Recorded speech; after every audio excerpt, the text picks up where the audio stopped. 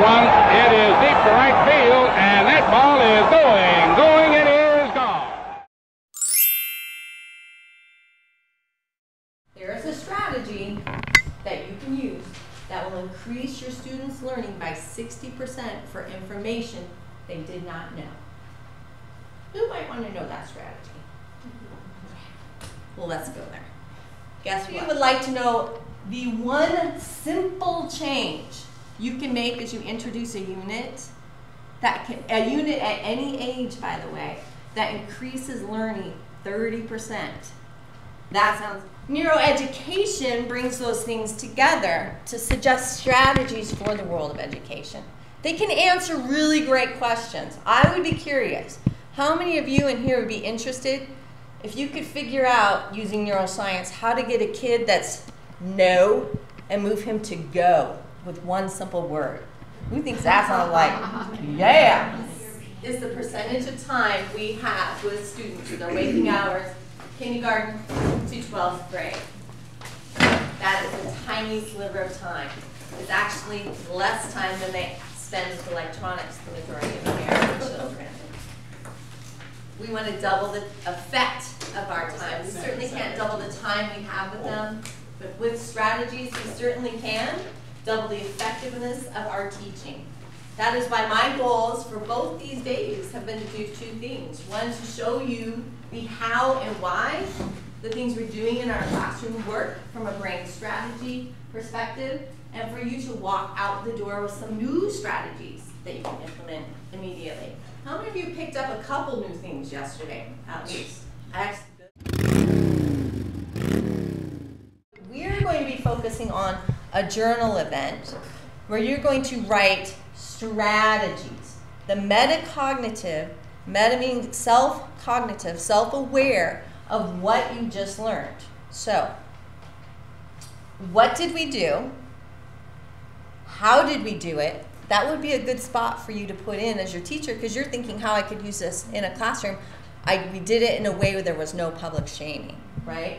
And the monitoring. Why did we do this? That goes back to the question of, oh, because it turns out if kids are checking their prior knowledge, they're priming their brains. How well did you understand the information? And do you have some more questions? And feel free at break if you have questions to come ask me.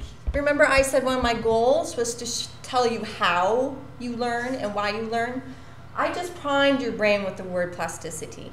We will be coming back to it. Your brain now is like plasticity. Hmm when it hears it again, it's go, hmm, that's a little more important. I'm going to keep thinking about that. When you do that with students, it works the same way. share this story with a different slide that obviously is perfect for this moment. Um, I had a student, we'll call him KP, and he was the kid that came in with a storm and, and created a storm everywhere he went. And it did not take very long for me to decide I need a plan with this kid. Usually I run a pretty just, you don't need necessarily charts and everything, but I'm like, I need a plan. And I was so just frazzled, I'm like, we're doing a marble jar. I got my marble jar out. And I tell him, every time we're doing something good, you're doing something, I'm putting a marble in here. And it's gonna be good. You're gonna do good stuff, and there's gonna be some marbles in there. And when we're done, you and I will talk about what we're gonna do.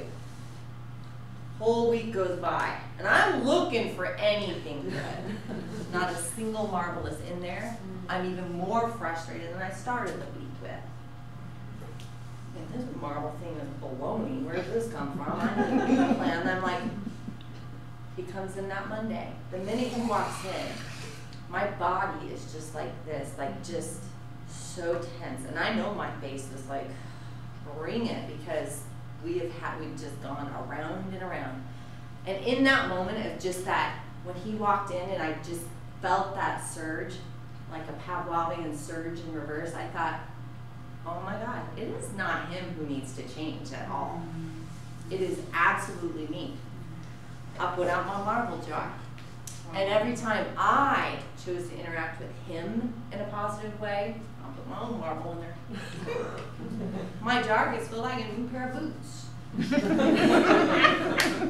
worked out pretty fabulous. And it was a mindset thing. And I needed to reward myself for proactively looking forward to what am I, how am I gonna interact with this kid? What am I gonna say with this kid? And it totally changed the dynamic I had with that kid and that relationship. Your leaders could do the following. I would like if you could just have a very short discussion. What does that look like in a classroom? Maybe if you're going to teach about a topic as banal as weather. As weather. It happens. I look around the room and there's so much smiling and engagement and eye contact.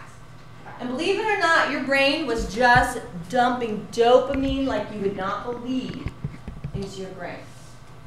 Dopamine is very much a reward neurotransmitter, and we'll be talking about it a lot. It primes your brain for learning. You already are feeling like, I'm being rewarded socially here. This is feeling good. Imagine if you started your student's day somehow having that dopamine dump happening. How great would that be? How many of you maybe, I, I won't even ask for a show of hands, but just a nod, did you think a little harder this time? Mm-hmm. Yeah. Did you write it a little more clearly? Did you organize your thinking a little more clearly? Someone else was going to be seeing your work. Is peer evaluation a powerful motivator to put in your best effort? Absolutely. Yes, it certainly can be. I think what was key to what we just did was that I felt um, like emotionally I was safe. Because I've been in classes where they've done that kind of thing, and then you were to raise your hand if you had true or false, and then, oh, you're wrong, you know, right Yeah. off the bat. So I like the fact that you didn't, um, you know, have that as part of the lesson is raise your hand if you, you put true, and then, ah, I gotcha. You know what I mean? Yeah. That kind of thing. Absolutely. So emotionally, a child that was feeling like they didn't have success in their life would feel like they really didn't have success in their Right. life in And now it's been public.